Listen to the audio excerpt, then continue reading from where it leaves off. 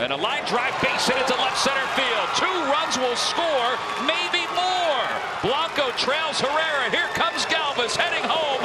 It's a three-run double for Cameron Rupp here in the top of the 10th inning. And the Phillies retake the lead.